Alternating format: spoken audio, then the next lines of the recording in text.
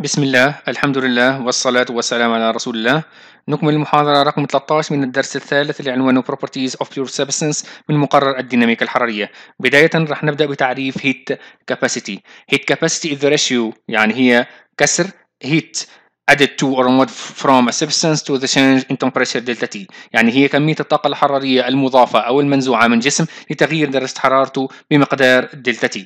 هذه heat capacity عادة نستعمل حرف C capital هناك نوعين من ال heat capacity heat capacity الذي يقاس at constant pressure ويعبر عنه subscript P يعني مع ثبوت الضغط. بالنسبة للثاني النوع الثاني heat capacity at constant volume وعادة نستعمل subscript V يعني ثبوت الحجم. فهنا تعريف heat capacity زي ما قلنا نستعمل حرف C capital CP تساوي heat على delta T heat هنا ال unit حقتها هي joule ال delta T ال unit حقتها هي كلفن. فاذا heat capacity ال unit حقتها هي joule per Kelvin.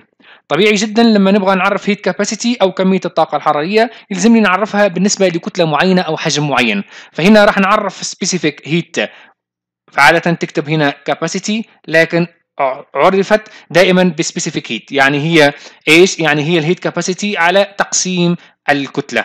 فهنا specific heat at constant pressure مثلا معطية بإيش؟ معطية نستعمل كالعادة هنا small letter cp تساوي heat capacity على الكتلة. ال unit حقت cp هي joule per Kelvin زي ما شفناها قبل.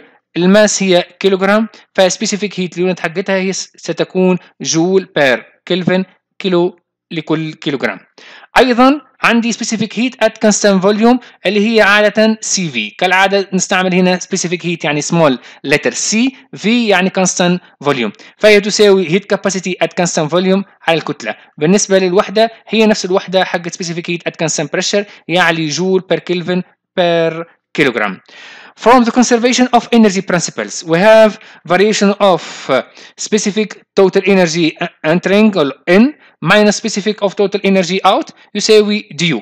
عندي تعريف ثاني بالنسبة لسبيسيفيك specific heat at constant volume يساوي du على dt يعني variation of internal energy على temperature at constant volume.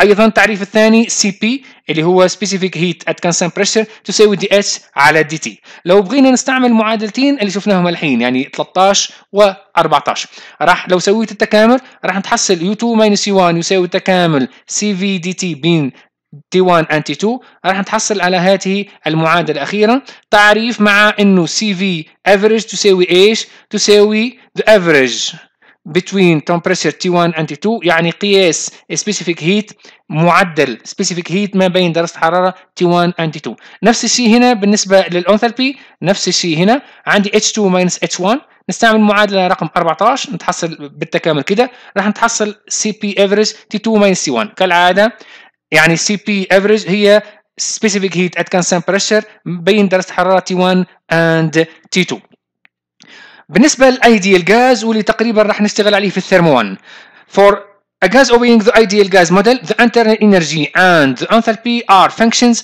of temperature only هنا نبغى نأكد internal energy وانثالبي لا يتغيرون الا بتغير إيش هنا بتغير درجة الحرارة فقط. نأكد على المعلومة هذه.